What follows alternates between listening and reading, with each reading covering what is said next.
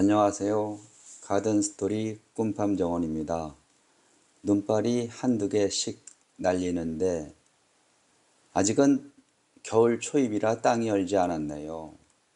오늘은 삼립국화를 옮겨 심어주려고 합니다. 지금 삼립국화가 꽃밭에 있어서 이것을 산채를 심는 밭으로 옮겨 심어주고 이 꽃밭은 내년에 다알야를 심으려고 준비한답니다.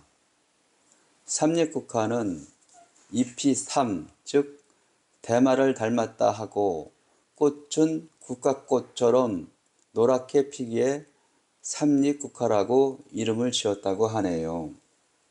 삼립국화는 척박한 토양에서도 잘 자라고 또 병충해에도 강해서 이 국내에서 정착해서 이 재배가 되고 있는 것이랍니다. 우리나라에 처음 들어왔을 때는 꽃을 보기 위해서 심었는데 지금은 특이하게 나무를 하기 위해서 심고 있답니다. 어느 농부가 삼립국화로 이 잎을 채취해서 나무를 해 먹었더니 너무 맛있어서 이 농진청에 이, 이것을 이야기했대나요. 농진청에서 이거를 채소로 인정해서 농산물로 팔 수 있게 해달라고 이야기를 하여 농진청은 식약처와 함께 이 삼립국화의 식품 원료의 특성, 영양성 그리고 독성 평가를 하고 최종적으로 겹삼립국화를 식품 원료로 인정했다고 합니다. 이것이 2021년입니다. 그 이후로는 농진청에서 삼립국화를 시금치와 마찬가지로 엽채류로 보급하고 있어요. 식감이 좋아서 시금치보다 더 우수한 엽채류라고 인정이 되었답니다. 지금은 강원도나 충북 지역에서 삼립국화를 재배하여 이 시장에 내다 팔고 있다고 하네요. 조금 전에 말씀드렸듯이 삼립국화는 두릅과 취나물 향을 합쳐 놓은 듯한 향이 있어서 우리 시금치처럼 엽채류보다는 산나물처럼 이 특별한 맛이 있어 인기라고 하네요. 그런 이유로 농가들이 재배하여 농가 소득을 올리는데 도움이 되고 있다고 합니다.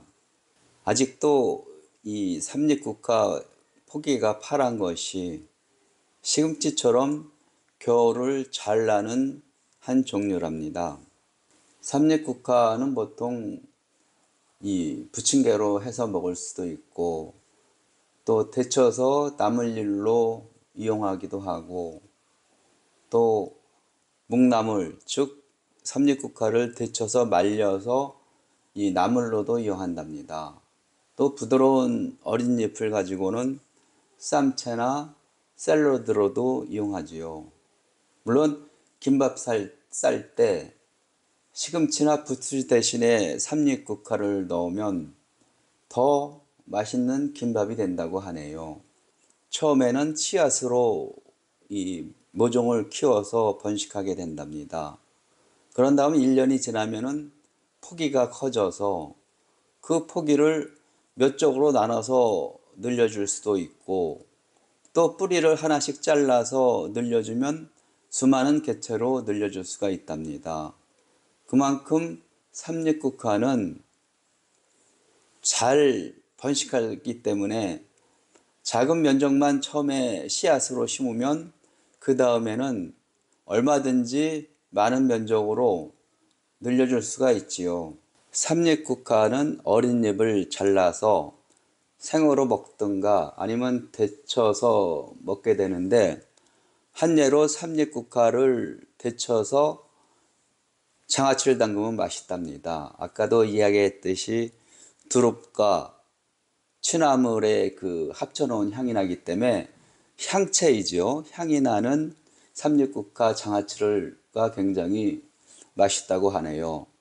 또한 삼립국화를 김밥 마를 때 시금치 대신 삼육국화 나물을 넣으면은 향도 좋고 이 식감도 좋아서 시금치보다 훨씬 더 낫다고 하네요. 캐온 삼육국화를 이제 밭에 정식합니다. 이것은 묵은 밭이기에 풀이 더 많네요. 삽으로 구덩이를 판 다음 삼육국화 한 포기를 넣고 흙으로 덮어주어 발로 밟아준답니다. 발로 꼭꼭 밟아주어야 삼육국화 뿌리와 흙 사이에 이 공기가 적어져서 공격이 없어져서 흙과 뿌리가 밀착하게 돼요. 한 포기를 세 개나 네 개로 잘라서 심어서 늘려줘야 되는데 저는 올해는 두 평에서 세평 정도로 약 1.5배만 이 포기의 간격을 넓혀서 심어주려고 해요.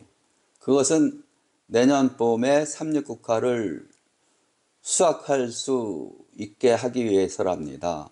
삼육국화를 잘라서 심으면 이 수세가 약해져서 내년 봄에 삼육국화 잎을 조금밖에 수확을 못하게 되지요. 시청자 여러분들도 삼육국화를 텃밭에 심어두면 점점 포기가 늘어나고 매년 수확량이 늘게 된답니다. 아까도 몇 번 말씀드렸지만 삼육국화는 두릅과 취나물에 합쳐놓은 듯한 향이 나서 맛있는 산나물 같은 느낌이고요. 또한 식감이 좋아서 맛이 좋답니다. 삼육국화 꽃으로 꽃밥도 할 수 있고 말려서 차로도 마실 수 있다고 하네요. 뭐 국화꽃 대용이죠. 또 삼육국화 잎을 이 삶아서 말려서 건나물로 1년 내내 먹는 것도 좋은 방법이라고 한답니다. 환경과 이 생태가 변해서 우리 몸도 변하고 있는 것입니다. 우리 우리가 먹거리를 과거로 돌려야 우리도 건강했던 과거로 갈 수 있게 되는 것이지요. 그런 까닭으로 요즘에는 유기농으로 생산한 농산물 그리고 제철에 생산한 농산물이 우리 몸에 좋은 것이지요. 물론 토종을 씨앗을 심어서 생산한 것이라면 더 좋은 것이겠지요. 가축의 사료로 이용한 유전자 조작 옥수수나 콩이 그것이 가축의 고기로 전이 돼서 사람한테 해가 있을지 없을지는 아직 과학적으로 증명이 안 되었답니다. 하지만 아직까지 증명이 안 된 것이지 앞으로는 문제가 없다는 것은 아니지요.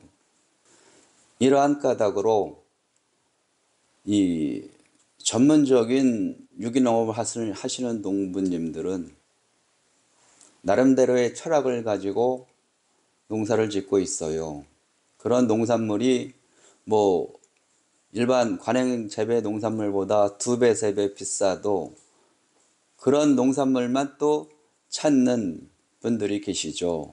어떤 환자라든가 아니면 건강을 위해서 더 식품비를 지불할 의사가 있는 사람들은 이 좋은 농산물, 유기농산 농산물을 구입해서 이 식품으로 섭취하고 있답니다.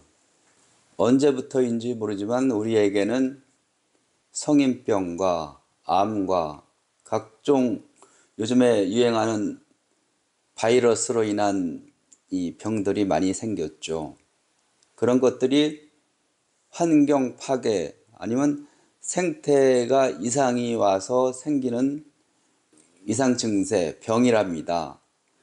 옛날에 먹던 음식, 옛날에 재배한 농산물로 우리가 요리를 해서 먹어야 건강이 다시 회복할 수 있다고 한답니다.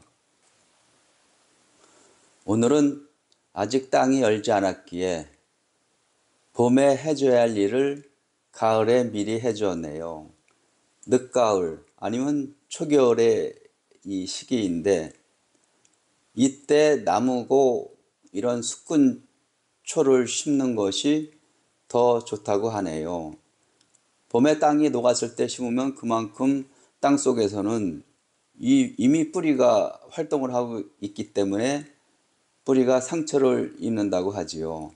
지금 심어주면 뿌리도 그때는 상처 치료가 돼서 봄이 되면 쑥쑥 자란다고 합니다. 시청자 여러분들도 작은 텃밭이 있다면 꼭 삼립국화를 한번 심어보세요. 한두 포기만 심어도 점점 늘어나 거의 잡초하고 싸워서 이길 정도로 삼립국화는 그만큼 세력이 강하답니다.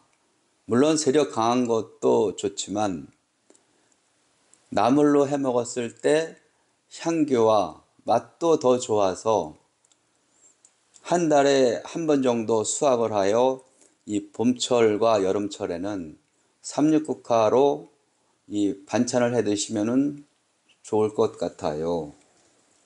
오늘은 삼립국화를 옮겨 심으며 이런 제기, 저런 얘기를 하였네요.